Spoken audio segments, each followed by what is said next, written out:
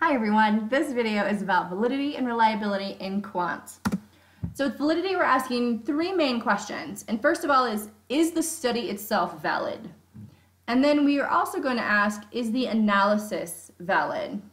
And a third question that we can ask is, is the measure valid? This video is going to cover the first two and I have a third vi another video if you want to look at the third question. So with validity and reliability, reliability is consistency. So over here on the left, all of these arrows are hitting the same spot. So they are consistent, therefore reliable. The problem is, is they're not on target, so they're not valid. We want the middle one. We want reliability and consistency and accuracy. We want to be on target and therefore valid. So these are words that are kind of interchangeable in this conversation. Reliability and consistency and then validity is all about accuracy and on the intended target. Are we doing what we think we're doing? So when it comes to study validity, there's two choices, internal and external validity, and you don't get both. You get one or the other usually, and there is kind of a mid-range where you're kind of doing a little bit of both, um, but you're not doing either well. If you have high internal validity, you actually don't have much generalizability and vice versa. If we have high external validity, we can generalize, but we're not controlling for every single aspect to try to establish cause and effect. So with internal validity, it's all about causal relationships and this cause and effect idea. So with cause and effect relationships, we could have causal description where we're just describing the relationship in depth and you can also have causal explanation that really talks through all of the mechanics of the why this causes this. I will say that in social sciences, we don't tend to do cause and effect studies. We do relational studies, but they're not always using this word cause, and here's why. In order to say that A causes B, you first have to establish that A and B exist. Not too hard. And then that they're related. Also not too hard. Here's what becomes hard. We have to establish that A comes before B and that B never comes before A. That is hard. And then the worst part is that we have to establish that there is absolutely nothing else that affects that relationship between A and B.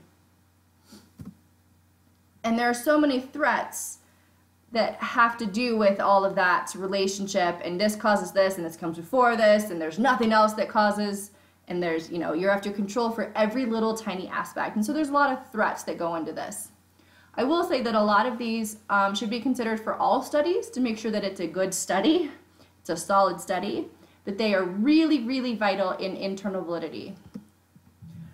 So the first one is ambiguous temporal precedence and this has to do with the A comes before B. And it's really hard and really easy to get stuck in the chicken versus the egg argument.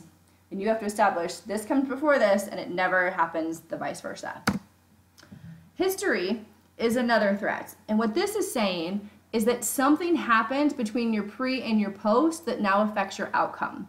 This could be as simple as you were trying to study engagement in middle school classrooms and somewhere between the pre and the post, the principal comes in on a rampage and yells at all of the students and says, if you don't listen to this teacher, then you're getting detention. Well, that probably just affected their engagement and therefore your study. Attrition is a problem in most studies and especially over um, studies that have a long period of time.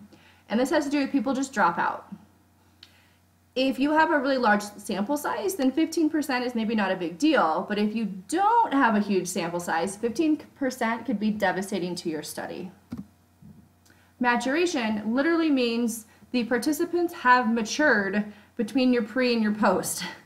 So if we're trying to understand first grade versus fourth grade performance, is it really the curriculum and the learning and their knowledge has changed, or is it that they are simply more mature and can focus on the test and focus on their learning. Differential selection is something that everyone should think about, um, but is especially vital if in control and treatment groups. We want our groups to be identical except for the control or the treatment variable.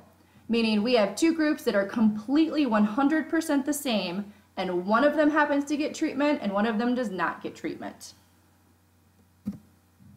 So I want you to pause the video, read the example, and do some brainstorming to see and apply how this would work. I'm serious. Pause the video. All right, so now let's talk about external validity. This has to do with generalizing your results. And yes, this starts with a large sample size because we need a good sample in order to generalize to a different group. But really, we're talking about who, what, and when can we generalize to. So there's a bunch of different types that we're going to talk about, and not all of them are going to be appropriate for every study. So you kind of pick and choose what makes sense.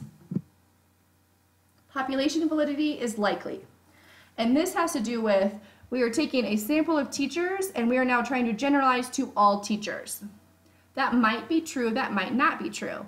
If I have a sample from North Dakota, can that generalize to teachers in California? Those are very different populations. And so depending on what you're studying, it might generalize, but it might not. So really thinking through who are you sampling and who does that match? Ecological validity is sort of similar, but now we're generalizing across settings. So if we find this really amazing treatment that works for our urban students, does it work for suburban students? Does it work for, for rural students? How does it work? And if you change the setting, does it still work? This could actually be an entire study, a replication study based on setting. Temporal validity has to do with time. So here we're looking at some sort of a historical aspect and see if we have something that worked in the 50s, does it still work today? If you have a measure that was developed 20 years ago, do you still trust it? Maybe, maybe not. Treatment variation is a really interesting um, validity because we're now saying that if you don't get the full treatment or if there are variations in the treatment, does it still work? Is it still accurate? So for example, if I'm tutoring um, elementary school students and I've established that it works two days a week for eight weeks, great. What if I do one day a week for 15 weeks? Or what if I do three days a week for a whole semester? Or what if a student only gets the first part of the semester and then can't continue? Does the treatment still work? Outcome validity is kind of similar, but here we're looking at variations in the dependent variable. So for example, if I'm looking at college student success, there are a bunch of different ways that I can measure success with college students. It could be as simple as, did they graduate, yes or no? It could be timeliness to graduation. It could be GPA. Um, it could be number of repeats that they had to take, major changes.